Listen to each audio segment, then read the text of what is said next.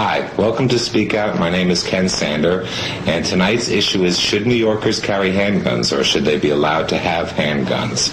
Uh, the number is 475-1550, and you can call in and we could talk about it. Lines are lighting up. I guess it's a good subject. Hi, you're on the air. Hey Ken, how you doing? Okay, how are you? Um, fine. Uh, I think that's a very good topic for tonight. Um, first of all, uh, I on occasion, I've been in the city now for about 20 years. Right. Um, on several occasions, I've been held up, you know, about uh, I had codes taken from me, you name it, my watch. Um, but however, I think if you carry a piece or you're carrying a gun, I think you're only adding to the situation. Um, if, I think it should be pro-choice, of course, if New York, Yorkers want to carry handguns or not. But I think if uh, people in general start walking around with weapons, it's only, uh, you know, creating a society in which their evil is only superseded by more evil. I mean, someone's walking around with, with you, he's going to look and you get mugged, and you pull out a piece, and you, you know, you're, you could take this man's life. That's true. I think you're only creating, you know, a worse situation, and you start big dick. See, that's the case. uh, hi, you're on the air. Hi, Ken. Yeah, how you doing? Fuck you! Hi. That it's just how do people feel about it?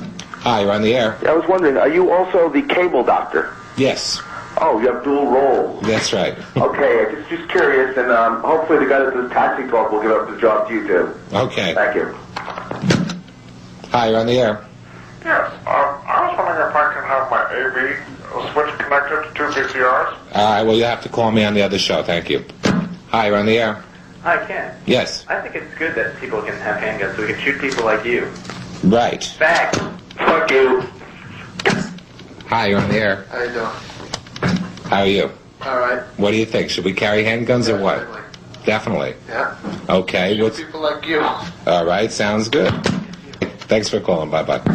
Hi, you're on the air.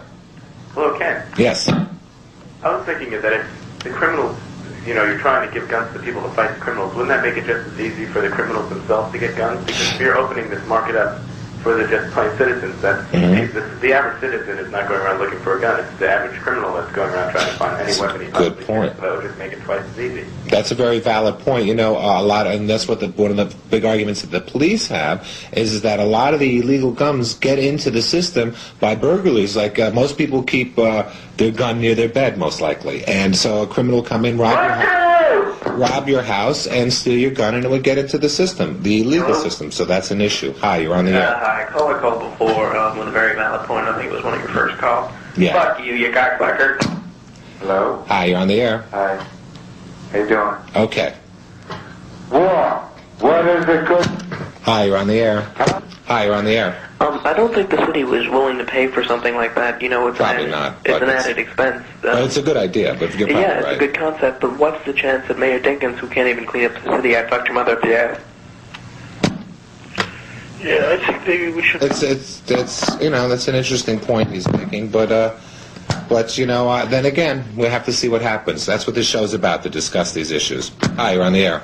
Well, Ken, Yes. I was wondering how you would think that it would be possible to regulate the sale of these guns, and wanted to know if you suck dick. All right. Well, in answer to your second question, no, and I'm not sure how we would regulate the sales. Hi, you're on the air. Um, I think you need a federal law first if, if you want to have a, a, a law in New York City against guns.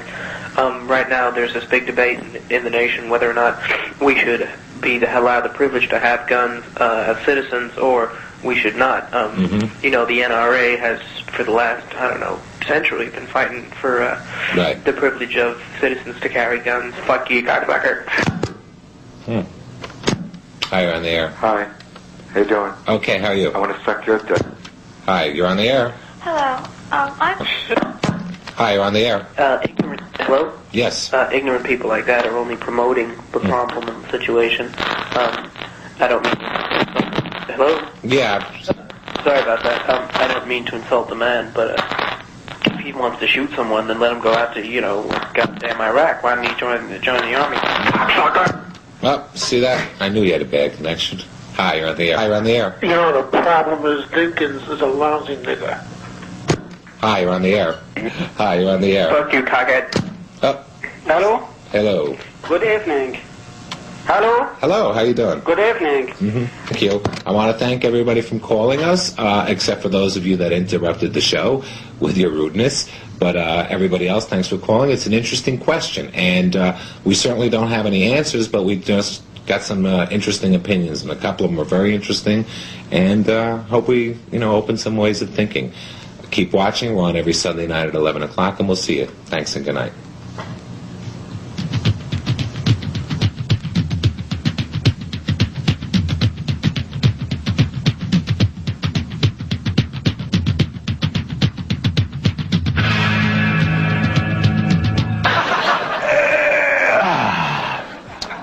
Dear Dave, uh, do you and Paul have any aspirations of being on late night television 20 years from now? If so, I wonder what kind of entertainment your loyal television viewers could expect in the year uh, 2010. Just speculating. Uh, Debbie Steele, Austin, Texas. Uh, you know, that's a pretty good question. I, I have a feeling, I have a pretty strong feeling that Paul and I will have a television show 20 years from now. I don't, I don't know that it will be exactly like the show we're doing here, but I think in 20 years, geez, maybe.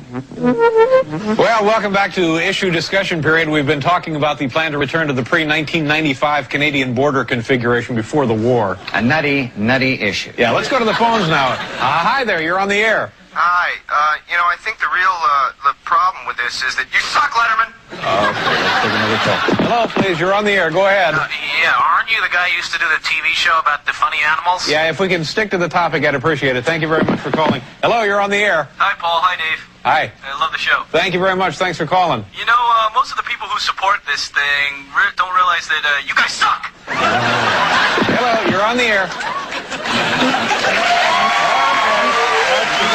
How could he, unless somewhere he believes we're not going to actually come through with what with what's going on?